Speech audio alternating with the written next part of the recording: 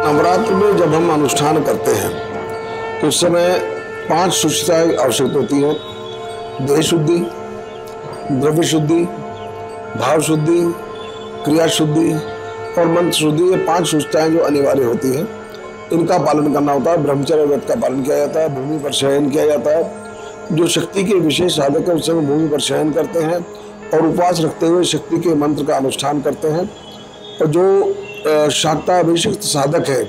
वो जो गुरु जी द्वारा दीक्षित जो मंत्र है, उसका जप करते हैं, उसका अनुष्ठान करते हैं और उसका दशांश हवन करते हैं। साधारणतः व्यक्ति नवरात्र के अवसर पर नवचंडी अथवा सचंडी यज्ञ का जो है अनुष्ठान करते हैं।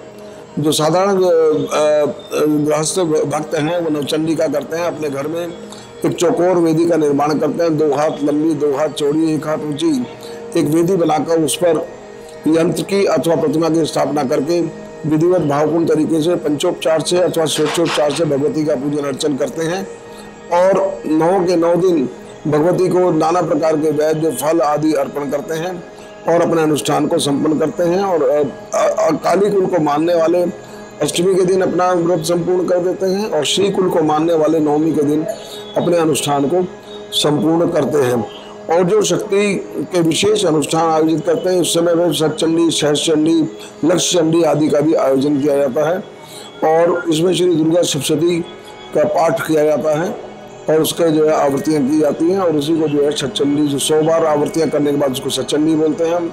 और उसकी एक हज़ार आहुति मतलब आवृत्ति होने के बाद उसको सहस्चंडी बोला जाता है और उसका दशांश हवन करते हैं। उसका दशांश मार्जन भोजन और कन्या पूजन के साथ ही जो है अपने अनुष्ठान को संपूर्ण करते हैं।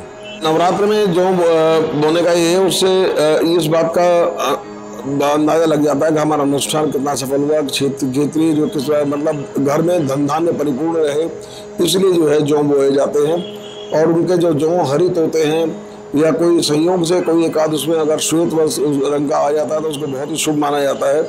खेतरी जितनी सघन होगी और जितनी हरी होगी, वो अनुष्ठान करने वाले के लिए उतनी शुभ मानी जाती है।